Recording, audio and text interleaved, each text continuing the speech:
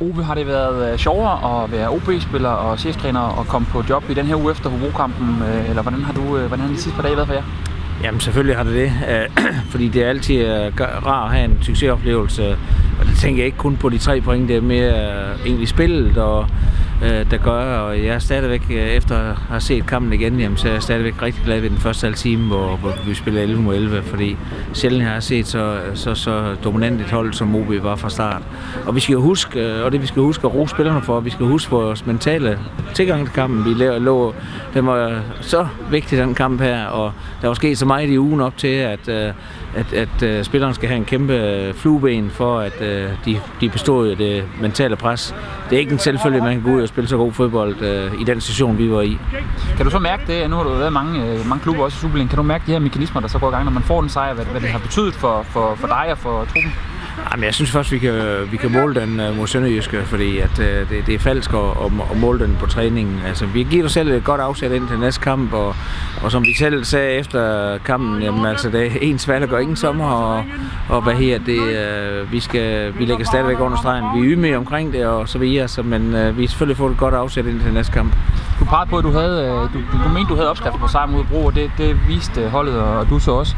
Er det så er det samme sider eller et andet kapitel, vi skal, vi skal slå op på for at slå Sønderjyske på ja, søndag? Jeg står jo med en, en, en svær balancegang, fordi at, øh, det kan godt være, at jeg har et eller andet ind i hovedet, hvordan det var bedst at slå Sønderjyske, men jeg skal også, jeg skal også i den her situation, vi skal også tage udgangspunkt i og ikke ændre for meget nu. Altså, vi skal, vi skal tænke os godt om, hvad vi gør mod Sønderjyske, fordi det, det gælder stadigvæk om at, at bygge et godt fundament op, så vi ikke svinger så meget i vores præstationer. Så, så selvom jeg måske har en, en, et mail til, hvordan vi skal slå Sønderjyske, så kan det godt være, at vi skal gøre det, besøge og gøre det på en anden måde. Hvad er det for et hold, for et Sønderjyske hold, øh, vi skal møde søndag?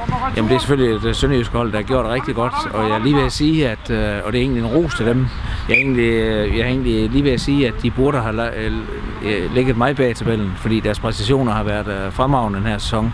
Så egentlig så, så kan du sige, at, at når jeg siger, at, at de ikke får det ud af deres sæson, så er det ikke en kritik, men det er mere en kompliment til, at, at de faktisk ser rigtig gode ud i den her sæson. Men uh, det er jo det, vi er op mod. Uh, altså, vi skal, vi skal jo sætte os ind i, uh, hvordan Sønderjysk spiller, og vi skal se på egen styrkeområde, og så skal vi selvfølgelig ikke uh, hænge os i, om de, uh, de, her, de er set stærke ud. Vi skal, vi skal selvfølgelig fortsætte vores pointhøst. Og skal vi så uh, i vores situation så egentlig være tilfredse med at komme, komme derfra med et point?